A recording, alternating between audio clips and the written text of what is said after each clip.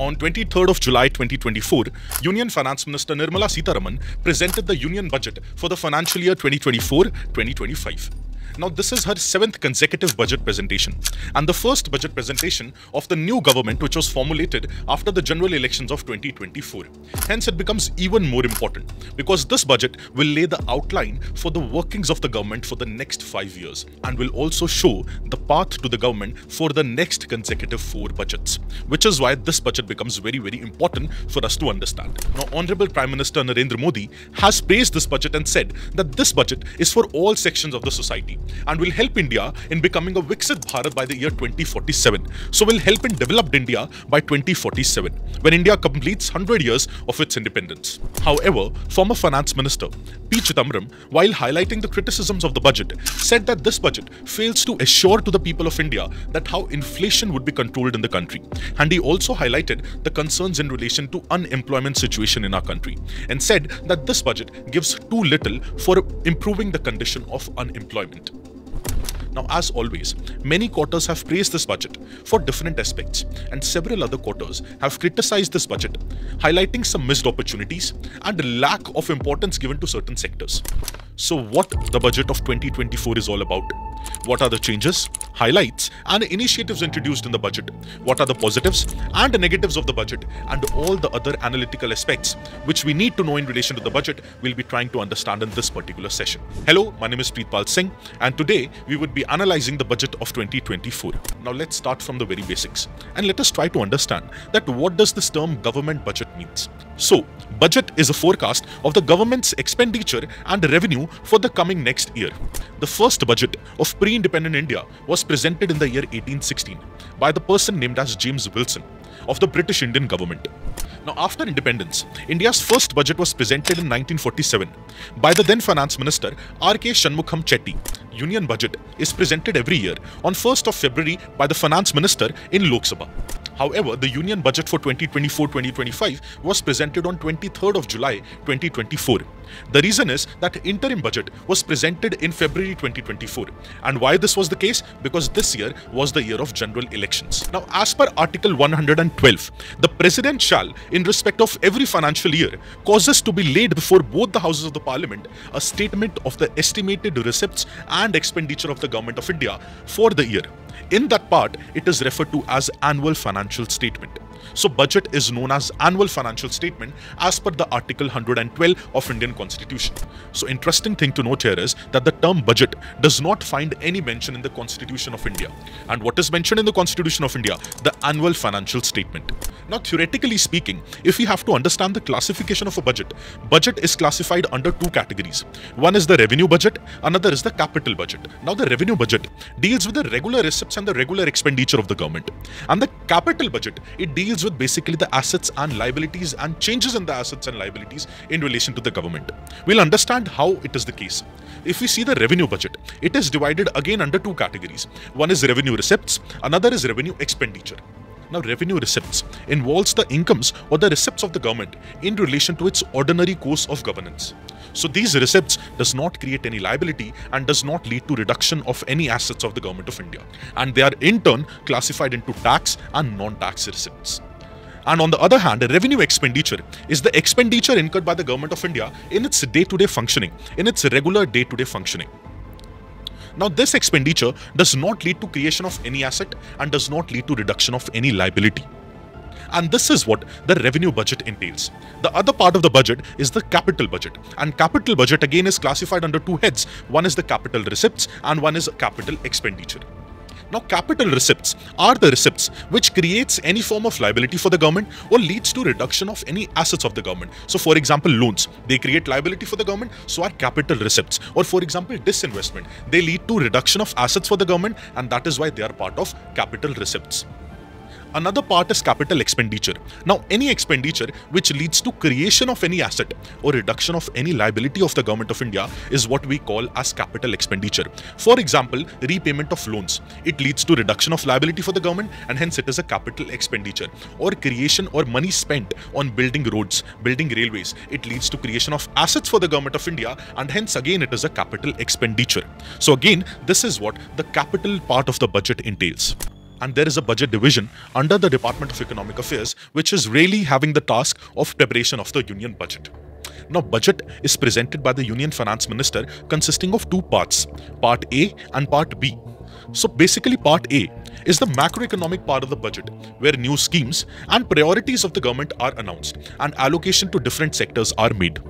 Part B deals with the finance bill which basically contains taxation proposal and how the government would be taxing the public of India or the people of India in relation to income tax, that is direct taxes and indirect taxes. Now, major budget documents, apart from the finance minister's budget speech, which are presented to the parliament, are the annual financial statement under the Article 112, demand for grants under Article 113, finance bill under Article 110, and fiscal policy statements, which are mentioned under the FRBM Act of 2003. That is Fiscal Responsibility Responsibility and Budget Management Act of 2003. Now, under that, there are two basic statements. First is the macroeconomic framework statement, and another is the medium term fiscal policy come fiscal policy strategy statement. Now, very interesting thing to note here is that before the year 2016, there were two separate budgets which were presented in the parliament. One was the general budget and another was the railway budget. And this practice for separate railway budget was started in the year 1924 and was done on the recommendation of Acworth's committee. However, in 2016, a committee composed of Bibek Debroy and Kishore Desai suggested and recommended that this exercise should be scrapped. So on 21st of September 2016, the railway budget was merged with the general budget. And from 2017 onwards, only single budget, that is the general budget, was presented before the Parliament of India.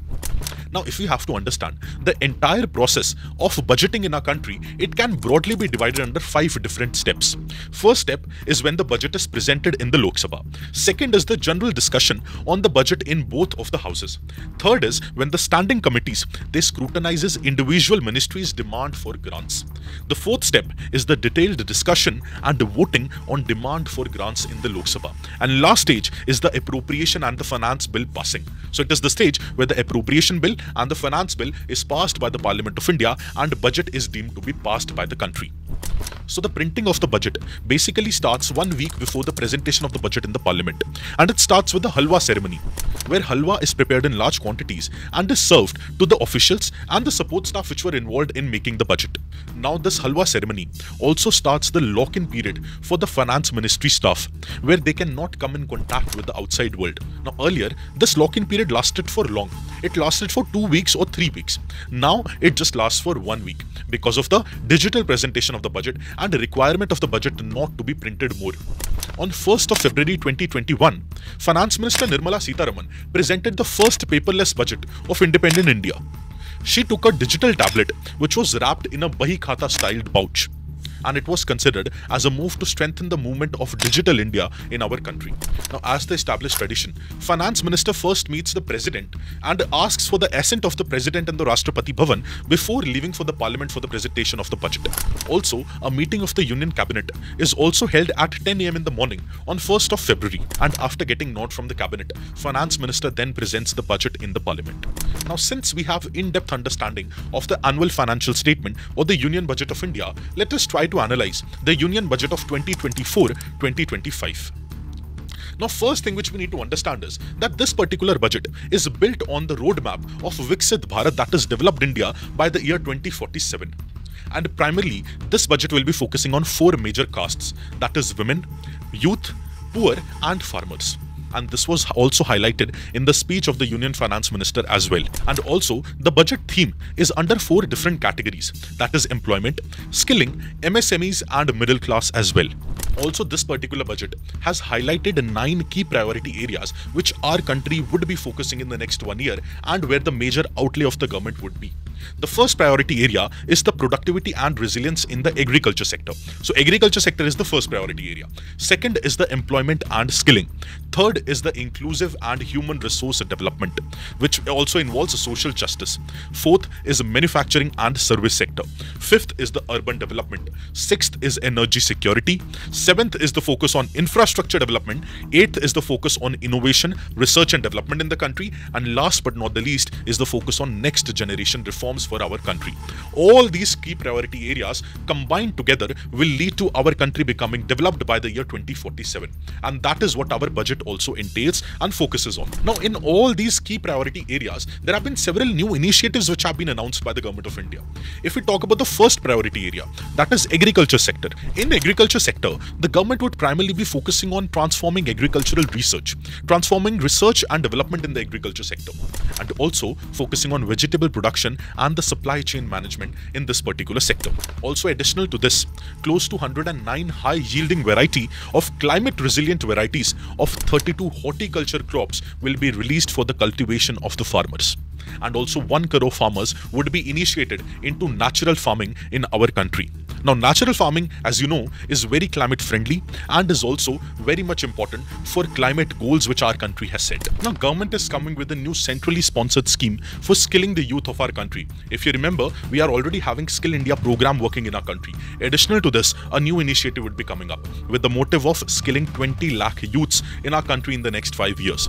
And also close to 1000 industrial training institutes will be revamped and remade. Also, the course content and the design and the curriculum of the courses will also be changed, suiting the industry demands. Also, a new scheme for the internship in top 500 companies for 1 crore youth in our country will also be launched. So, it is basically a new internship scheme for the youth of our country, which will be sponsored by the government. And additional to this, three more schemes in relation to those who are joining the job for the first time, second scheme for the job creation in the manufacturing sector, and third scheme to support the employers would also be launched in the coming year. Now coming to the third priority area in relation to inclusive human resource development and social justice. Now to ensure this, government has come up with the concept of Purvodaya, that is Vikas Bhi, Virasat Bhi. It is basically a plan for endowment rich areas in our country to generate economic growth to attain Viksit Bharat by 2047. And allocation of close to 3 lakh crores for women and children in our country would also promote social justice in our country in a holistic way. And also for the northeastern region in our country to boost financial inclusion in the region and to boost connectivity, close to 100 Indian post payment banks will be constructed or will be made. Now, in relation to the manufacturing and services as well, credit guarantee scheme for MSMEs will be announced. New assessment model for MSME credit will be announced. Mudra loans limit has been enhanced to 20 lakh from the current 10 lakh rupees. And also, several other opportunities in relation to internship has also been promoted to ensure manufacturing and the service sector of our country becomes robust. Now, in relation to the urban development, there have been changes made in the stamp duty, and the government of India has encouraged the states to lower stamp duty for the properties purchased by women. Also, the government of India is envisioning a scheme to develop 100 weekly haats and street food hubs in the select cities. Also, there have been changes made in relation to transit-oriented development, water management and Pradhan Mantri Awas Yojana Urban 2.0 as well. Now, in relation to energy security as well, there have been several initiatives with private sector in nuclear energy as well. Whether it be Bharat small reactors or whether it be promotion of R&D of the Bharat small modular reactor and newer technologies for the nuclear energy as well pumped up storage policies there, then AUSC thermal power plants, and energy audit and PM Surya Ghar Muft Bijli Yojana has been envisaged in this particular budget. Now, in relation to the infrastructure sector, close to 11.11 lakh crores, that is 3.4% of the GDP, has been provisioned by the government of India. Also, several initiatives to promote irrigation and flood mitigation and tourism in our country have also been introduced in the budget of 2024. In relation to the innovation, research and development as well, there have been operationalization of Anusandhan National Research Fund for basic research and prototype development as well. And also, the private sector driven approach and innovation has been there in the union budget as well. And in relation to the next generation reforms, rural and urban land related reforms have been initiated by the government of India. It might include the unique land parcel identification number or Bhu-Aadhaar for all the lands and several other land record measures and land reform measures as well. Also, the provision of NPS Vatsalya, a plan for the contribution by the parents and guardians for the minor, or whether it be the changes in the new pension scheme, all the things have been initiated in the budget of 2024. Now, since we have understood that what all measures the government has taken in relation to all the nine key priority areas, one more thing which I'd like to add here is now, if you want to understand all these initiatives of nine key priority areas in bit more detail, we have attached a PDF in the description section of this particular video. You can use the PDF and understand more about the budget 2024. And now, since we have understood all these things, let us try to make sense of different statistics which are mentioned in the budget of 2024. And let us try to analyze those statistics as well. Now, as you would remember, initially I told you there are two parts of the budget. One is the capital budget and one is the revenue budget. Now, revenue budget and the capital budget basically are having two components again. That is expenditure component and receipts component. So let us start one by one. Let us look at the expenditure first and then we will look at the receipts. So the budget expenditure for the year 2024-2025 is close to 48.2 lakh crores, which is basically 8.5% higher than that of previous year. Out of this 48.2 lakh crores, 37.1 lakh crore is the revenue expenditure which again means the routine expenditure which is done on the day-to-day workings of the government, which includes salaries, pensions, or any other expenditure of the government which is of day-to-day activity and additional 11.11 lakh crores is the capital expenditure of the government of India, which we also call as capex. That is money spent by the government of India on creation of various assets. For example, building dams, roadways, railways, ports, buildings, and several other asset classes as well. Now, if we see the budget allocation to different ministries, that is the expenditure incurred on different ministries, the Defense Ministry gets close to 6.2 lakh crores. The Road Transport and Highway Ministry, it got close to 2.78 lakh crores. Railway Ministry got close to 2.55 lakh crores. And few other important ministries like Agriculture and Farmer Welfare got allocated 1.32 lakh crores.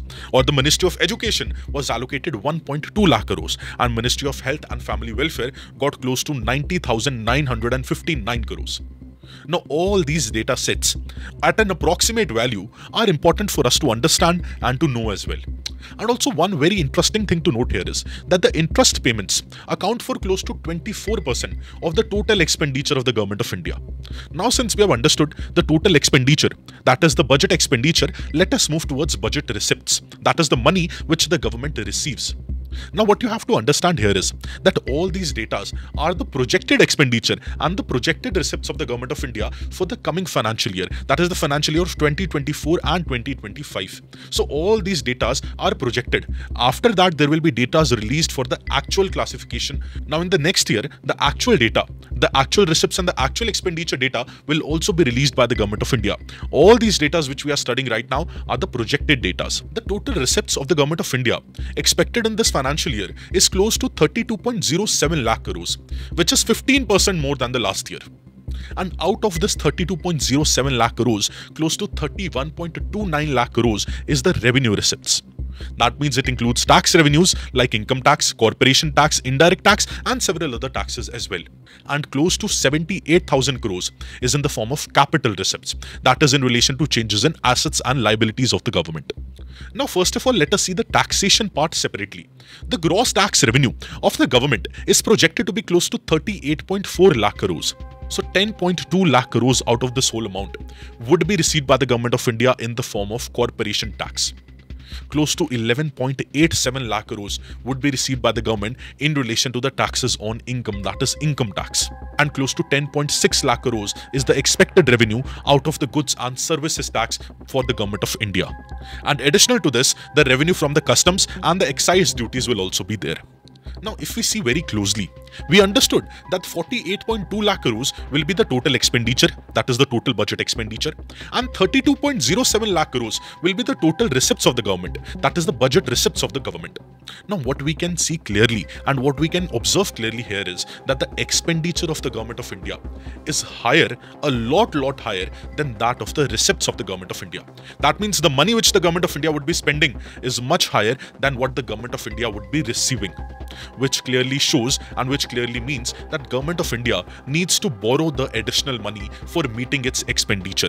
And that borrowed money is what we call as fiscal deficit.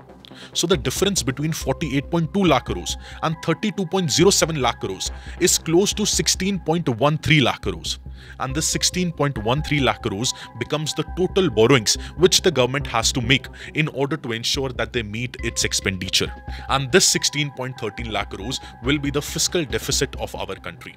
Now, in simple terms, fiscal deficit basically refers to the excess of expenditure in relation to the receipts of the government. So, it is the amount by which the government's expenditure exceeds the government's receipts in a particular fiscal year or a particular financial year.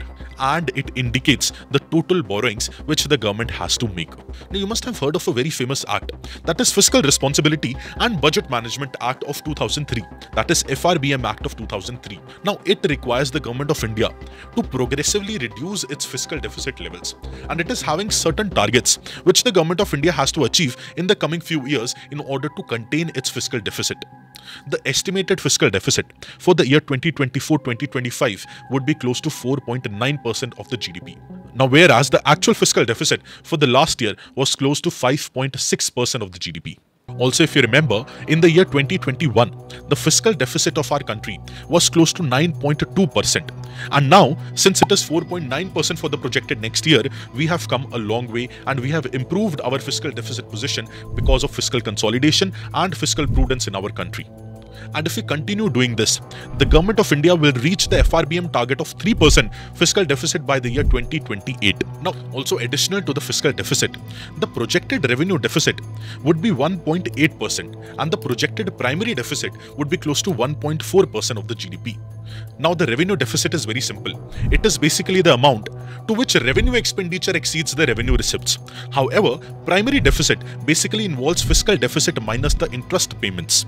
So, in reality, it basically shows the government's total borrowing excluding the interest payments or excluding the interests. Now, all these datas, if we see very objectively, they are very, very important for our understanding, for our examination, and for our analytical perspective as well. Now, if we see the reforms of taxation, in relation to taxation, several reforms have also been initiated by the government in this Union Budget 2024. First change is in relation to the income tax rate slabs. Now, in your screen, you will be seeing the new regime for the income tax slabs in our country, which have been introduced by this particular budget. Now, additional to this, the Finance Minister has announced a comprehensive review of the Income Tax Act of 1961 to make it more clear, concise, easy to read, and efficient.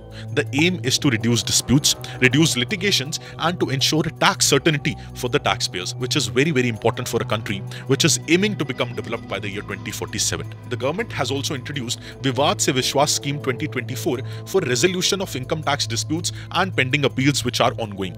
And also one more critical change, because of which the government has been criticized from several quarters, is the change in the short-term and long-term capital gains tax. Now, first of all, let us try to understand what is this capital gains term. So, capital gains is basically an economic concept which deals with the profit earned of the sale of an asset over a period of time when its value has increased. Now, these capital gains can either be short term or can be long term, depending on the holding period. And there are several classifications to it as well based on different asset classes. In the budget of 2024, the tax on long-term capital gains has been increased from 10% which was earlier present to 12.5%. So the long-term capital gains tax will now be 12.5%. Also short-term capital gains tax have been increased from 15% to 20%. So now the short-term capital gains tax will be 20% of the capital gains. Now, this move has been criticized from several quarters from different business groups, from the stock market experts, and from common people as well complaining that this might reduce the investors' confidence and might demotivate the investors to invest in capital assets. Now, Shravan Shetty, who's MD at Primus Partners, has said that increase in the long-term capital gains tax might lead to investments moving to unproductive assets like gold or real estates. Also, stock market has also reacted very negatively to these changes. Both Sensex and Nifty indices show a significant drop on the day Budget 2024 was announced. Now, comprehensively understanding this capital gains, short-term and long-term capital gains tax would require a separate session of its own. So do let me know in the comment section that should we have a separate session for capital gains and short-term and long-term capital gains tax or not. Now additional to this, there was one more crucial change which was made. That was the abolition of angel tax. Now this step has been appreciated from a lot of quarters, especially from the startup community of our country. Now, the major aim of the government to take this step is to bolster the startup ecosystem in our country. Now, let us understand what is this angel tax. Angel tax is basically the tax imposed by the government on funding received by the unlisted companies or the startups. Now, if the investment received by the startup is greater than the fair market value, then the angel tax comes into play. And it was levied at a hefty rate of 30% and has now been abolished. Also, the corporate tax for the foreign companies has been reduced from 40% to 35%, again, which is an appreciable move. Now, one more change because of which the budget has been criticized a lot is the increase in the securities transaction tax by the government of India. So, security transaction tax is the tax payable on the securities transacted in a recognized stock exchange in our country. So security transaction tax on futures have been increased to 0.02% and on options it has been increased to 0.1%. Now Ashneer Grover, the founder and ex-managing director of BharatPe, has said that this budget lacks the spine and juice to bolster our economic growth to 13 or 14% a year. He also remarked that if the budget was not announced at all, still India is having the ability to grow at a 6 to 7% growth rate every year. Uh, of the new government, right? So it's the first out of the five years. And uh, what your expectation is that you will take some strong decisions in the in the first one because that gives you the political leeway in some sense from a 7% GDP which we can achieve without any budget being announced to an actual 12 15% uh, GDP growth. Hence, the budget's role is to amplify things and to take the 6 7% growth rate to 13 14% growth rate a year. This is what he had to say. Now, many experts believe that government's action or the government's step of taxing more, spending more, and borrowing more is not a very good step. Experts suggest that more money should be left at the disposal of the private businesses so that they can create more jobs. Either they could spend the money for consumption or they could spend the money for investments. In both of the cases, job creation will tremendously increase. And if private players are having more investable surplus with them, definitely they will invest the surplus in the whole economy and eventually economic growth will propel. Ashneer Grover also suggested a single tax rate in relation to income tax for our country and suggested that there should be 20% tax rate for any income earned above the tune of 10 lakh rupees per annum. He said that removal of income tax slab would make the system more effective and more efficient because these multiple income tax slabs are not doing any good to the people of our country and to the government exchequer as well. It is just complicating the process and also benefiting the chartered accountants who are charging hefty amounts of money or hefty fees for filing the income tax returns of the common people. He also suggested that the distinction of short-term capital gains and long-term capital gains should be removed altogether and 10% capital gains tax should have been imposed on all types of capital gains to again make the system more effective and more simpler. Now, many experts were also expecting several overhaul reforms in relation to goods and services tax in our country, but no such reforms were announced or introduced in this particular budget. And a single uniform tax rate or indirect tax rate for the whole country still remains a distant dream. Also, several academicians and experts have pointed out that this increase in the capital gains tax in our country would be drastically impacting our country in a negative way because there are many other countries like Singapore, Dubai, or many other tax havens which are having essentially 0% or very, very low capital gains tax. So it might lead to outflow of capital from our country to these tax havens. Now we have to understand that many people, including high net worth individuals, they focus a lot on a return on their taxes. And if the return on their taxes is negative or negligible, then they would be wanting to migrate to other countries. For example, again, Ireland, Dubai, Singapore, Mauritius, Cayman Islands, and several other tax havens as well. We have covered this phenomena in detail in a separate video.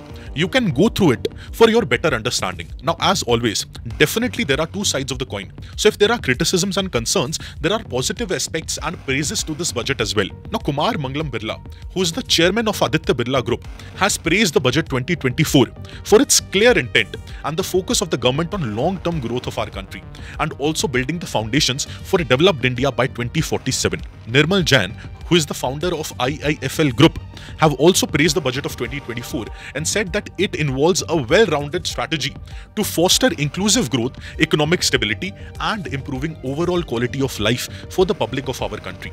Now do let us know in the comment section that what are your views on the budget 2024 and what would be more reforms which could have been introduced in the budget to make it more effective and efficient for our country.